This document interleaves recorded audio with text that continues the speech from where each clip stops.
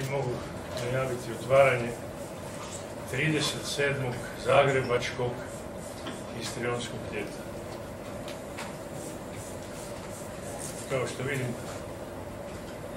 Zagrebačko histrionsko ljeto baš previše ne zanima medije, ali šta će ja tu ne ništa pomoći.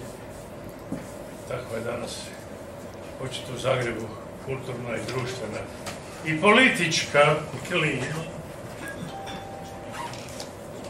Apropo te političke klime mogu reći da nam Ured za kulturu, taj novi grada Zagreba, nije dostavio još ni jedne jedine kune za ovogodišnje zagrebačko histrionsko.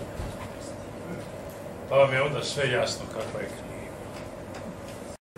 Evo, to je danas naš dragi, divni Zagreb.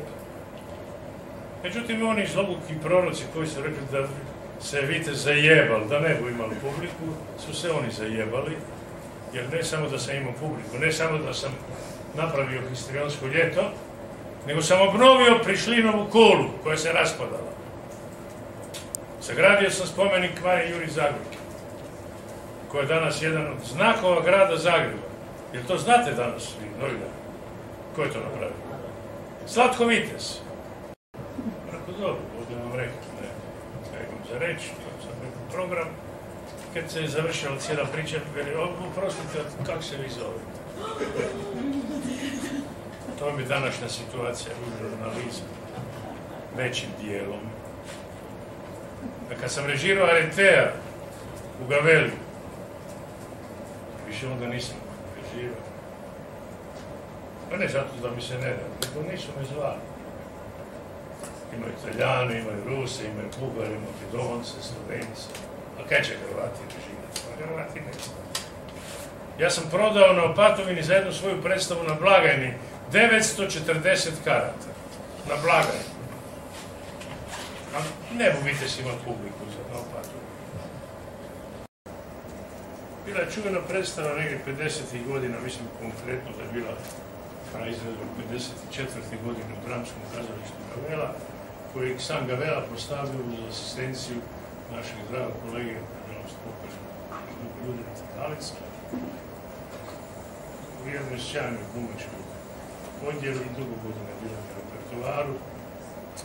Pamti se po tome ta predstava što je ulogu Rože igrala Marija Kohn, a kasnije to ona igrala i na filmu koji snimio Hanžel. je po ne samo mom mišljenju, jedan od najboljih hrvatskih e, dramskih komada ikada napisan. Po mom sudu onako prvih deset sigurno ulazi a, taj komad. Kako je rekao Zlatko, nastao je u prozornom obliku kao manji roman ili veća pripovjetka, jer je na nagovor, vjerojatno, ga velim, on sam autor to dramatizirao i napravio je stvarno fantastično. U tom komadu se proživaju smijeh i suze, veselje i, žalost kako se inače u našim životima to stalno isprepliče, tako da niko ne može reći da moj život samo tužan i samo vesel. Za razliku od prijašnjih e, godina kada smo obraživali stvari e, opatovinske, zagrebečke, gradske, ovaj koma nas vodi u Turopolje, u, u, Turopoljske Orsa, gdje su ta sela koja se jeli, obrađuju, spominju i tako dalje. Onda nalazimo tu priču dvoje, prije svega dvoje mladih ljudi o jednoj nesretnoj ili neuzvraćenoj ljubavi. Pa evo ovako, ovo je već moje drugo histrionsko ljeto sa Damirom u ulozi redatelja i kolege glumca.